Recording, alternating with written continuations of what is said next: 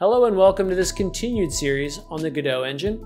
We're going to be looking at a add-on that I have freely available that is a singleton pattern. I call this add-on Mingleton. We'll see how and why it's useful for you in your game dev. My name is Samuel Asher-Rivello. I am a game dev with over 20 years of experience, the last decade or so specifically in the Unity game engine, educating and entertaining with that technology, and I've shipped titles for PC, Steam, Xbox, iOS, Android, and more. In addition to doing development on commercial titles, I also create educational materials around game development.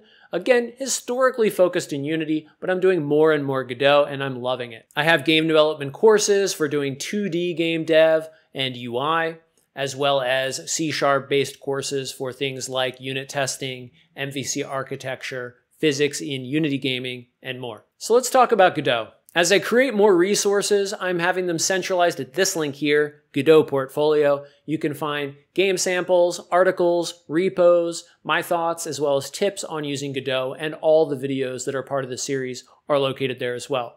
If you want to watch them in order, you're invited to because you'll be able to see the project slowly build over time. But if there's a particular topic that's interesting, you can dive right in. They are meant to be episodic, so you can just watch one. The RMC Mingleton for Godot library is offered as a Godot plugin, and you can access it here freely on GitHub. The idea of Mingleton is it's where singletons go to mingle. So I've created singleton processes in the past for other platforms. Typically, the way it's handled is one class needs to extend something or have a superclass of a certain type or at least an interface in order to be able to take advantage of the singleton functionality. We'll see in this new Mingleton example that the Mingleton is a manager of singletons and each of those singletons has no particular rules about it. It can be of any type inside Godot and doesn't need to extend or implement any classes or interfaces. That way you have full flexibility on extending anything if you want for your own needs, and you're not tied down by restrictions of a typical singleton library. So the steps for installation are pretty straightforward. They're all listed here. I might update them over time, so definitely take a look at the latest version of the README. And in step number seven, you can see the dependencies that are required. There's exactly one. You've got to bring in the RMC core library, which is uh, freely available in another repo. And you just do that in a similar process as this. And there's an optional dependency here for the GD unit 4 library. Bringing this in gives you the ability to create your own unit tests or to see the successful tests run by all these other libraries. So we're going to take a brief look at that today as well. Let's take a brief step back and talk about the theory so a singleton is the creational design pattern that lets you ensure that a class has only one instance while it is a global point of access for all those classes. So we can see here like a guru uh, one in the middle here that is larger than the rest and has all the power, and all these other classes are able to access that one.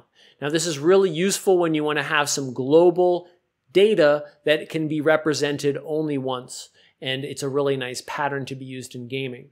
It's somewhat controversial in how singletons get plugged in. So if singletons are not right for you and your workflow or the way your team works, then by all means don't do it. But I find it tremendously successful in the projects that I'm on, and you just need to know how and when to use it. There's lots of theories about the best practices. But assuming you do want to use singletons in Godot, this is the best way. Now, traditionally, when you see singletons in Godot, it uses the auto load, which is one particular solution.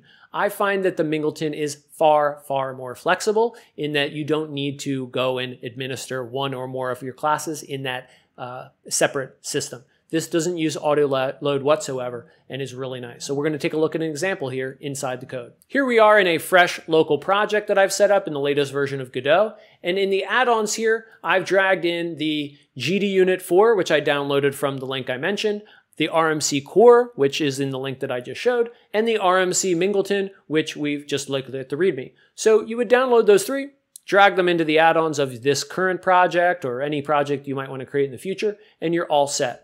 Then you go up here into the project window. And in the plugins, you just have to check all three of these on if they're not already on. Now these add-ons are all ready to go. So let's take a look at the Mingleton. First, we'll see an example and then we'll run a test on it before we finish up for today. So in Mingleton, we've got the library itself as well as some examples on top. We're going to take a look at that one example. Here is the scene I'll open that.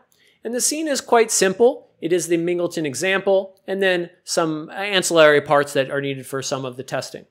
Then in the scripts area, we'll open up the Mingleton example. So this sample, as well as many of the other samples that I create in my libraries, it begins with extending a node just so it can be popped into the scene easily. It's something like having an example in Unity that would extend MonoBehaviour, just so you can put it in the scene. There is no requirement on using nodes in any part of this process, other than it's an easy way for me to put this example into the scene. Inside the ready here, I demonstrate some of the different types of functionality you can do. Now, this isn't the complete list. There's lots of ways you could do this. And you can imagine in a simple game having exactly one singleton that holds the data that all your systems want to get at. In a larger project, you may want to have many more than one singleton. So I show some examples here.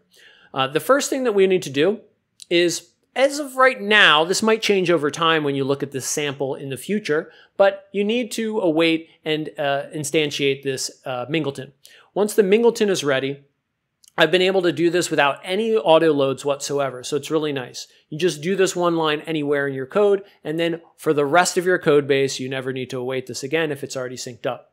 So I've got a separate class here for some different examples. Let's take a look at each of them in turn. This one here shows the complete API for the Mingleton. So let's step through it one by one. So I cleaned up the view here a little bit. Let's step through the API one by one. First thing you have to understand is the Mingleton's role isn't to be one of your singletons. It's to manage all of your singletons. So when you call Mingleton instance, it is able to add on the ability for you to get at other singletons and manipulate them. So you're always calling mingleton.instance.something, regardless of what it is that you're fetching. Now, in this case, I've got a simple singleton example called my singleton.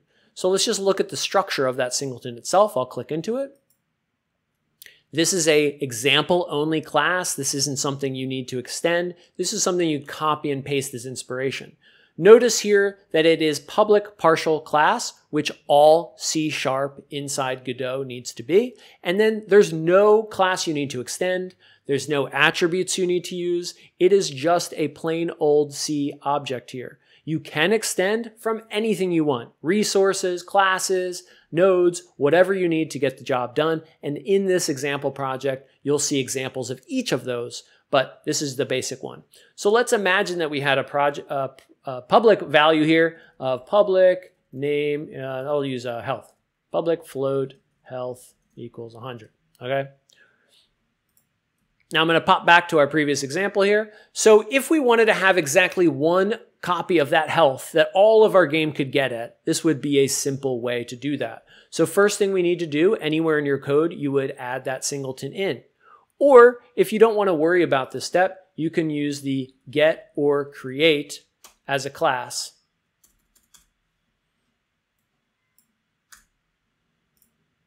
And that way, this particular scope doesn't need to know if that thing is available. It just can call it. This is more of a classic singleton approach. And then we can get at any of the properties there like health. So let's say we set it to be 100.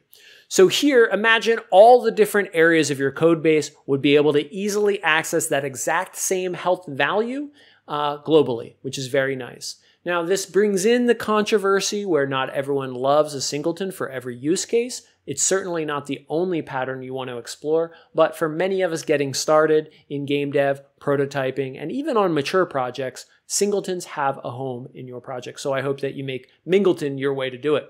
Let's take a look at some of the other stuff that we can do here. You can always ask the API if a singleton exists. If you want to establish a purposeful life cycle to your singletons, you could always remove it when it, you no longer want it to be accessed. Now, there's some maturity that's needed for using that kind of a life cycle. You would then need all of the instances to check if it exists and do some other things. So just letting autocomplete here show us some of the other options. Add singleton, get singleton, has singleton, remove singleton, and then that get or create class that we've got there. Now, you can also use get or create as, as a node or as a resource. The reason that these are handled distinctly is if you think about it, instantiating them needs a slightly different setup, which you can either custom control or you can let the Mingleton system handle it for you. Getting a class just calls its constructor. A node would call the constructor and add it to the tree so that it exists in your scene. And a resource is handled quite uniquely as well because the way that Godot resources are loaded from your file system into your game at runtime. So you've got all of those abilities to run those there. And then returning us here to the full demo, I'm just going to scroll down. Here's an example of the node. Here's an example of node where the node itself does some handling inside. You could take a look at that example. Here's examples around using singleton resources. And if I clean up the view a little bit, we can see a very simple example. I don't even need to use the full resource path. The system will automatically find if there's just one my singleton resource B in your project, it'll grab it. And if you're not too familiar with how resources are loaded, this is not trivial. It's quite nice that it looks it up for you. So you'd be able to, again, get at that particular resource globally through your system classes. Lastly, I want to show running unit tests. So here inside the RMC Mingleton, we've got our library. We took a look at the examples, and there's also tests. So if I right click and I run that test suite,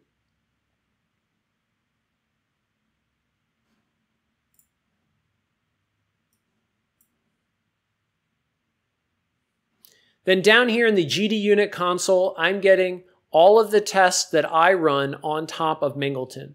Now this is optional. You don't need to have the unit tests in your project if you don't want to, but it demonstrates the way that I ship these with the Mingleton itself so that I've tested this functionality out. And if you're ever curious about a corner case or you find a bug and you report it to me, what I would do on my end is create a unit test that proves, hey, the bug indeed exists. I would fix the bug and then I would leave that unit test to hopefully demonstrate that forever then the bug doesn't return.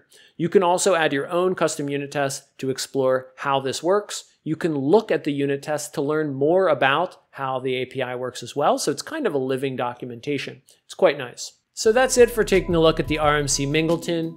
I've demonstrated a little bit about why singletons might be useful in a project, talked about how typically this is handled inside Godot with the auto load, which I didn't go through all the negatives about using auto load. It certainly has its purpose, but it's nice that I was able to solve this Mingleton solution without any use of auto load for my classes or for your classes. And you're able to get some of that same power uh, without all of that uh, setup. Then we've seen some of the examples, also unit tests running on top of those examples of how Mingleton can be used inside your projects. So thanks for coming along with me as we've talked about the RMC Mingleton. I'm available for remote contract hire. You can contact me from the link there for Unity Game Dev and Unity Game Dev instruction and education, creating material like this, exploring new topics within Unity, Godot, and other game platforms. Thanks.